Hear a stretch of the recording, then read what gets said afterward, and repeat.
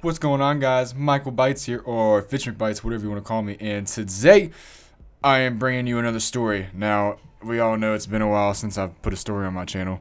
It seems like I never do that at all.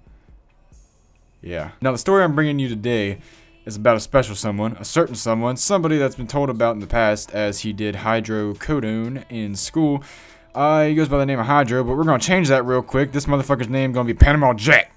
That's what we're going to call him. Panama Jack. Don't forget it. Trust me, because if you ever have a conversation with him, he doesn't know how to shut up about it. Uh, I, I nobody really knows where this story generates originates, but uh, I just remember one time hanging out with him, and for some odd reason, of course, we were the, under the influence of multiple substances, but for some reason, his in his mind, he he I can't remember what he did.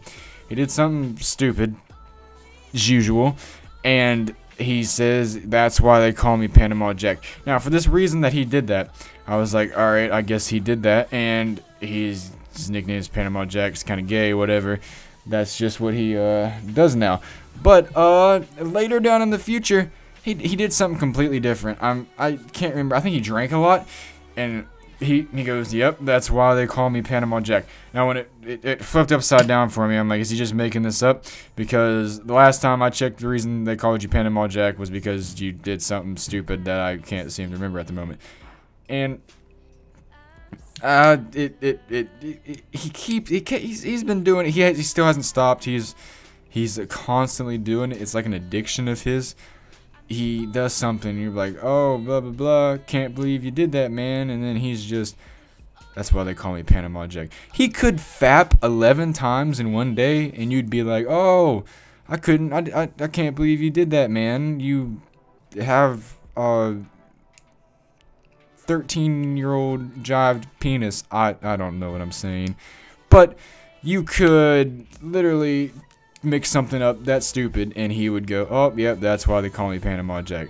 Every reason for anything, he's called Panama Jack. It it still worries me to this day. I think we should get him helped by a doctor.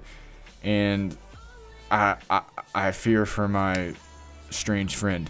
Now, if you fear for his life as much as I do, um, you can go ahead and leave one like. Uh, one like equals uh, one chemo, one chemotherapy for uh, Panama Jack here. Please kill me. I think I'm gonna cut it there. Um, of all jokes aside, I I hope you enjoyed what I had to tell you here. It was a little bit of a short story. I didn't have much to say about it. I just kind of wanted to get it off my mind.